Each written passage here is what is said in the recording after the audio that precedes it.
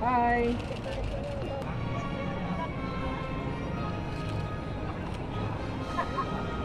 Sergeant Michelle Marquez D. Pilipinas ng panunumpa ng katapatan sa watawat ng Pilipinas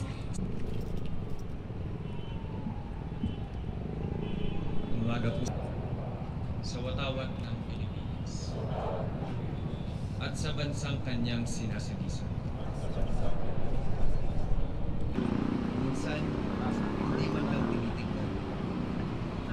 Hinahayaang umupas at maluwa. panitilihing matingkad ang kanyang kahulugan at diwa. Makaingatan siya sa isip, salita, at sa gawa.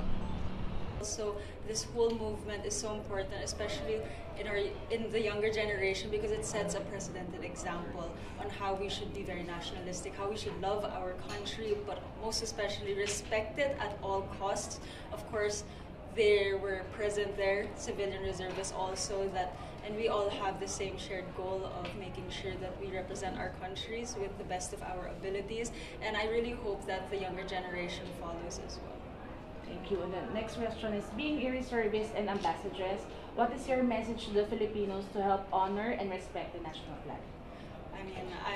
I said it earlier that I have always been very proud to call myself Pinoy and to call the Philippines my home. Of course, my act of love, my language of love has always been service, and that is represented through my efforts at Miss Universe, but also as a civilian reservist because I want to really be able to offer whatever I can to make sure that whenever they need me, I'm here. My love for the country really extends outwards. It really extends through everything that I do, and hopefully the younger generation really sees that you don't really have to.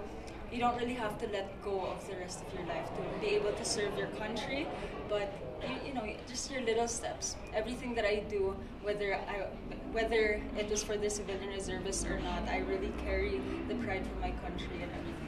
So hopefully the younger generation follows suit as well.